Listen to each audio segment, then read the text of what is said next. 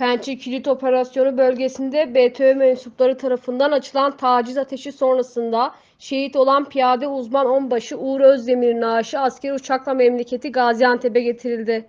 Havalimanında resmi törenle karşılanan şehit Uğur Özdemir, Cuma namazını müteakip kılınacak, cenaze namazının ardından son yolculuğuna uğurlanacak.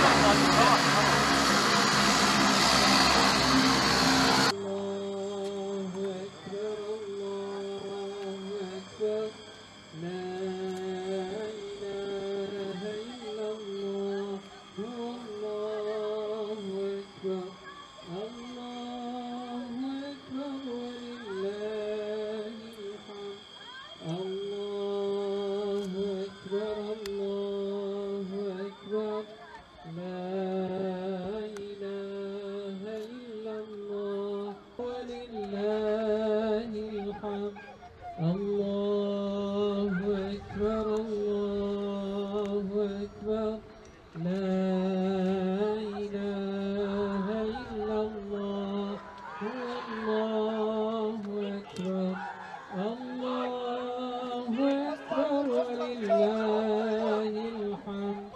الله أكبر الله أكبر لا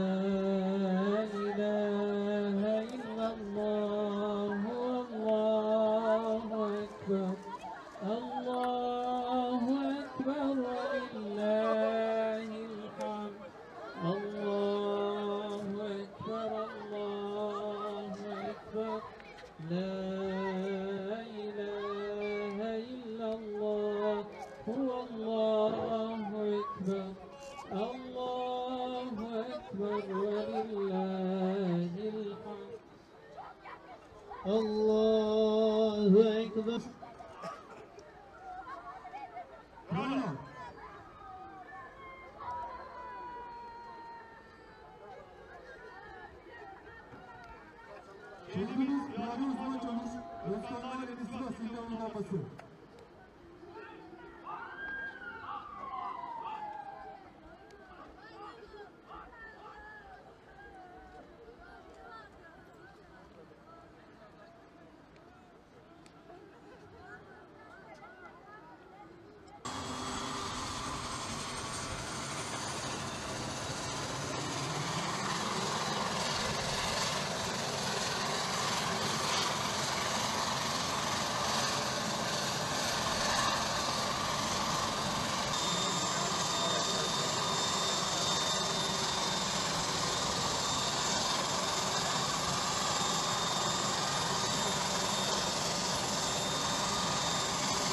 That is.